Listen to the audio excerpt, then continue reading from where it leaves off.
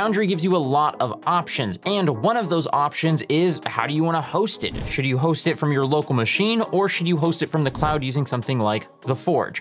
Well, that's what we're gonna be talking about so that you find the best option for you. The first advantage you have when hosting from your local machine is it's free. You also don't have to worry about what times you play uh, or the server getting bogged down with too much traffic because it's just, again, from your computer, so it's the people that are connecting to that.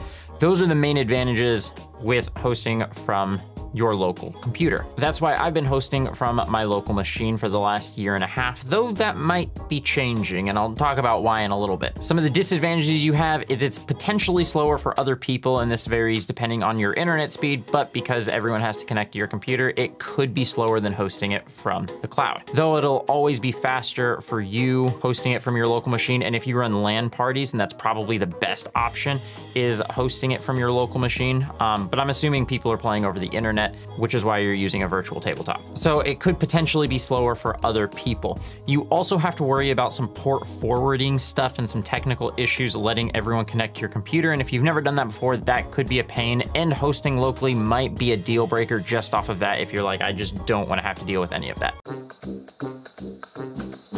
your different service providers. It's also weird because I have a gaming router, um, or depending on there's like a gaming section. That's just that's weird. I don't really feel like making one, but it's really not that hard, and you can probably find some YouTube videos on how to do it. The other thing that can be a pain hosting it from your local machine is I have to remember to turn off my VPN. That has been a struggle in the past when I forgot that I still had my VPN on, and it took me like 15 minutes of playing around to figure out why my players couldn't connect, and then I was like, oh, try now. So that's a little bit annoying too. The last con I have for hosting for your local machine is that the server's only up while you have it pulled up on your machine. This isn't a huge deal. You can just leave it going on your machine if you want. But again, if you want to use a VPN, it means you can't have your VPN going while you're hosting. And it might not be an issue if it's just you using it, but if you share it with anyone or if you have any players or anyone else that's helping like build maps or work on it, you have to turn it on for them to be able to get on and build a map or add the walls or whatever it is that they're doing. Starting with some pros, uh, the first one is the exact opposite of one of the cons I just said.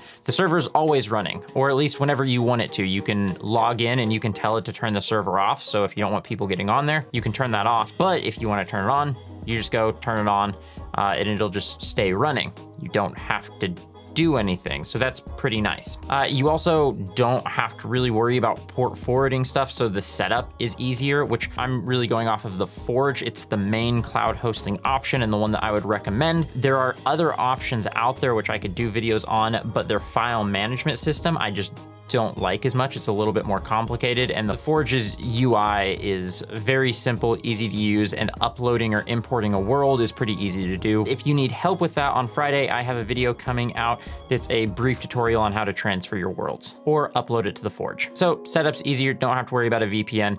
Uh, those are most of the advantages that you have and potentially speed, We'll, we'll talk about that in a minute. Some of the disadvantages that you have is it does cost money. I'll put the pricing up here on the screen, but that is kind of a negative and that might be a deal breaker for some people is having to pay a monthly or yearly fee in order to use it. They do give a 14 day free trial though, so it's something that you might wanna look into if you're wanting to give it a try. The only other real con I have with the Forge is you might run into potential issues with storage.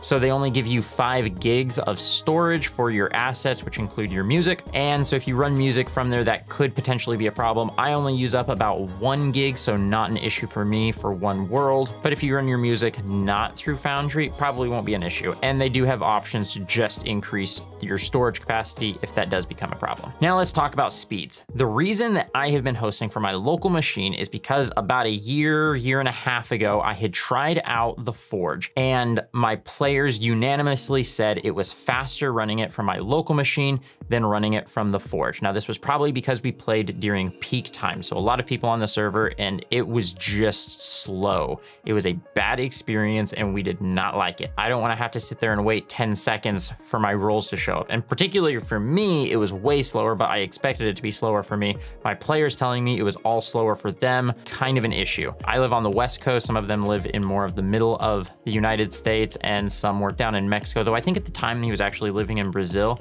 Anyway, so pretty spread out. Uh, and they all said it was faster running for my local machine. So that is what I have been doing for a while. But in the making of this video, I obviously got back on Foundry, I did some testing and I wanted to give more accurate numbers. Things have changed. Now, when I tested it, it was a Wednesday morning, so probably not the busiest time, but they said it was faster running it from the Forge than from my local machine. So they said it was almost instantaneous and I didn't really notice any difference from the Forge versus from my local machine. So that was a pretty good sign. And I even went back and did some testing on a Friday night, which I thought would probably be the biggest, busiest time, and I still didn't notice any delays. So I will probably be switching to the Forge because if it's running faster, that's actually the main thing for me. Uh, I want this to run as fast and as smooth as possible for all of my players. So I'm now switching to cloud hosting. That was what prevented me from using it. Now that they seem to have faster speeds, I don't know if they upgraded their servers in the last year and a half or if they just have fewer players, but speeds are looking really good for us. And so I'm gonna be switching back to the Forge. If with more testing or playing around, I see that their speeds drop back down again, uh, I'll pin a comment to this video and let you know that I've seen their speeds drop. If you have any questions about hosting your games or anything else D&D related, feel free to let me know and I'll catch you next time.